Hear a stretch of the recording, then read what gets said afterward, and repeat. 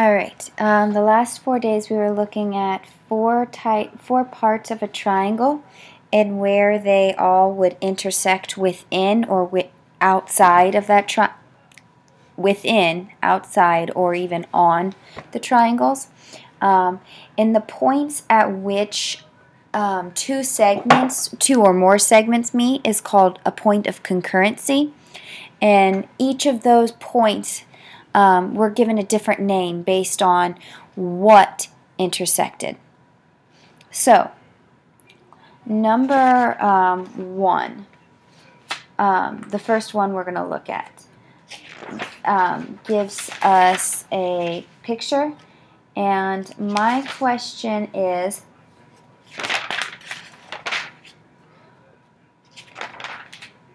what is um, the circumcenter of this triangle. So find the circumcenter. So first we have to ask, our, ask ourselves what is the circumcenter. So the circumcenter of a triangle is the point where the perpendicular bisectors meet. So the circumcenter is the point where the perpendicular bisectors meet. And on a right triangle, if the perpendicular bisectors are going to meet, remember a perpendicular bisector, so if we were to sketch it out, this isn't like perfect. Um, the perpendicular bisector is the median, so it's the middle, that, that midpoint, it's taking the midpoint because it's a bisector, the midpoint and perpendicular. So that would be the bisector of that side because it's the midpoint. This segment's one, two, three, four, five, six, seven. So it'd be about three and a half. One, two, three. So about here. This is all approximate. And so they're going to meet approximately right there. And then this one is going to be whatever the midpoint is of this and then it'd be obviously perpendicular. So this is what we're looking for, whatever that specific point is. Well, that point is based on what is the midpoint of this segment.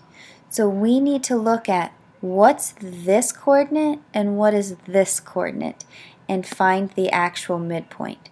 So if we were to look at those, because perpendicular bisector bisects the segment, so it's looking at the midpoint, this point is at negative 4 comma 5. And I think some of the problems actually give you the coordinates and ask you to, ask you to find the circumcenter. So you could graph it if it helps to graph it first, or you could just look at can I tell what the hypothesis hypotenuse is based on the figure. Or if I need to, I can still graph it and then decide. So here's my point here. And then my point down here is at negative 2, negative 2.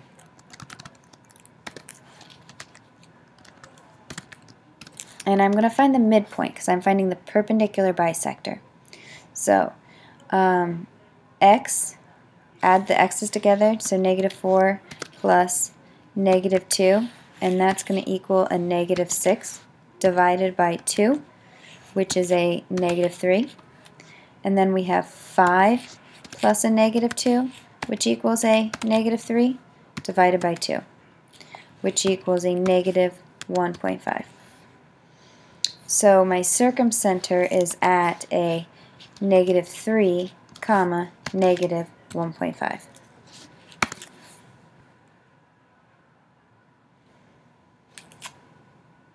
Because the circumcenter is the point where the perpendicular bisectors meet. So I needed to find the bisector of the hypotenuse when it's a right triangle.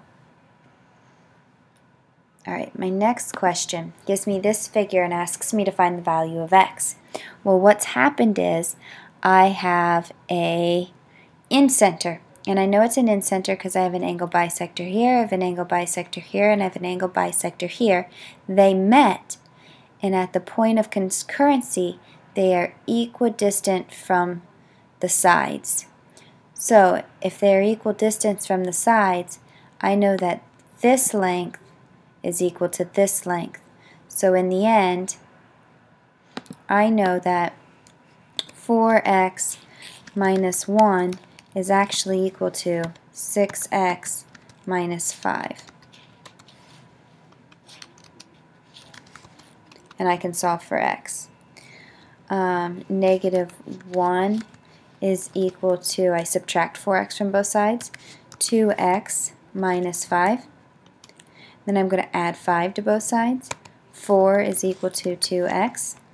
So 2 is equal to x. Now the reason I did that again is because here I have angled bisectors and they're meeting at a point of concurrency called the incenter. Well, the incenter is equidistant from the sides of the triangle. So I was given 4x minus 1 here, and I'm given 6x minus 5 there. If this really is the incenter, which it is because that's what we're given, but based on this picture, I have 4x minus 1 equal to 6x minus 5. The last one has to do with me. Last two have to do with medians and altitudes. Um, the point of concurrency when two medians intersect is called a centroid. Did I say that right?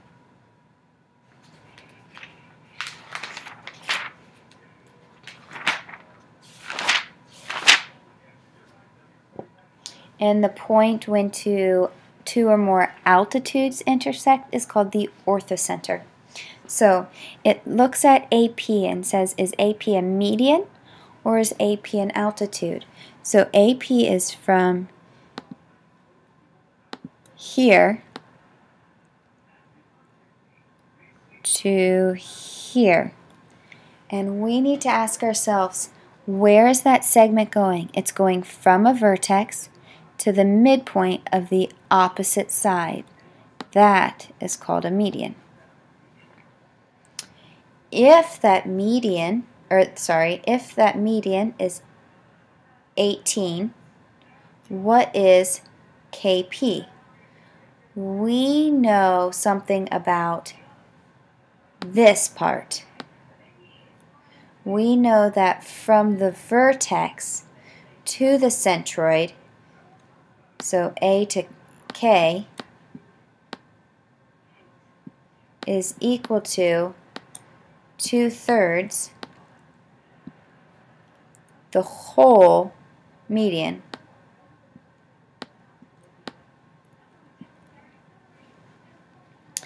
So what's left over is actually one third. So we know that Kp is equal to one third of AP, which actually is 18. So one third of 18 is 6.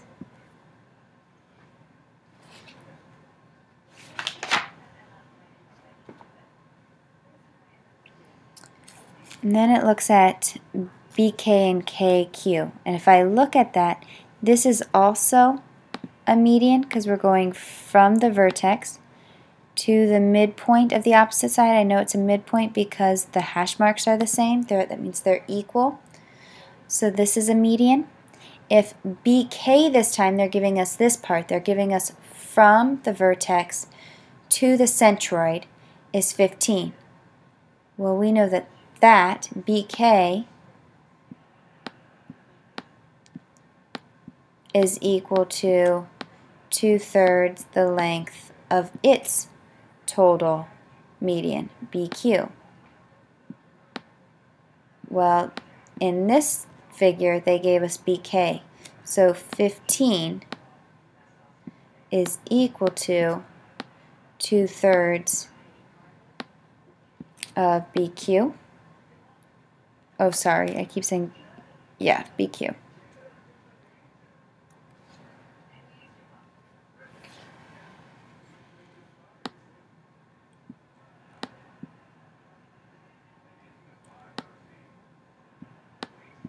Multiply by 3 over 2.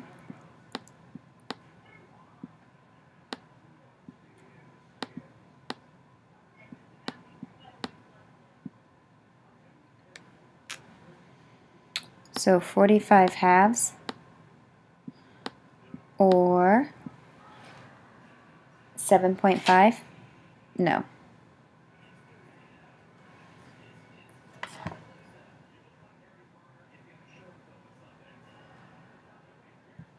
Twenty-two point five.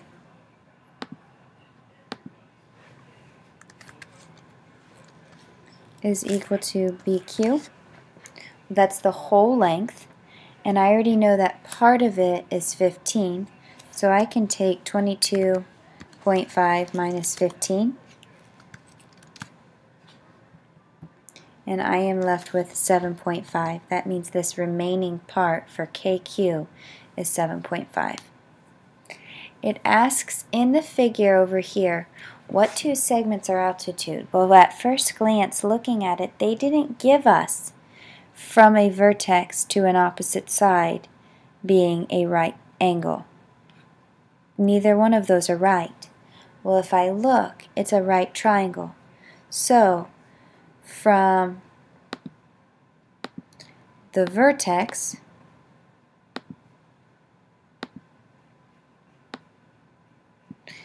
to the opposite side or a part of the opposite side, a right angle is formed. AC would be an altitude. So would BA.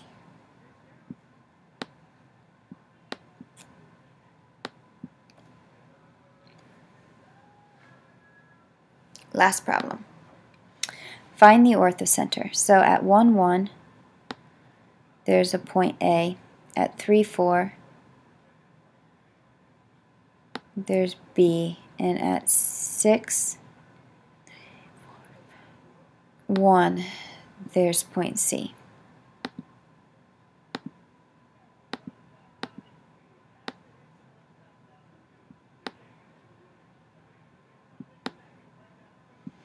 The orthocenter is the point where the altitudes intersect.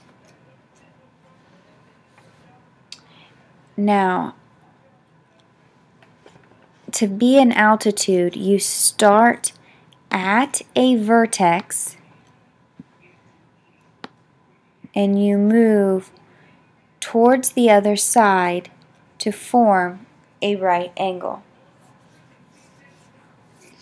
So, if I were to extend any of these lines, very carefully, that was really bad though.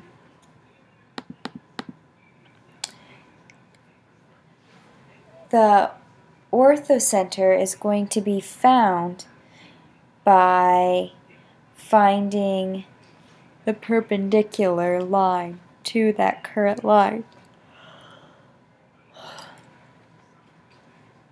So if I were to find the perpendicular of this line, it's going to be vertical.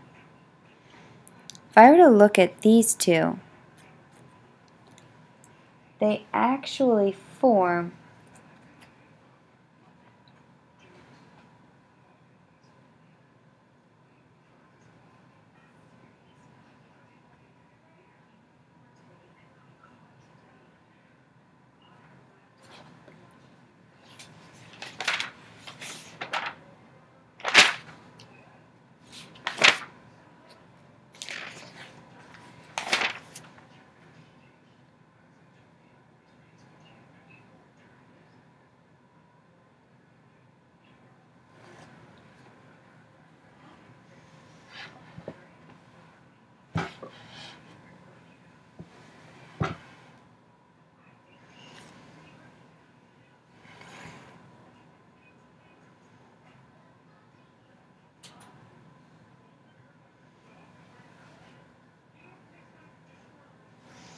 Okay, so we need to use some algebra.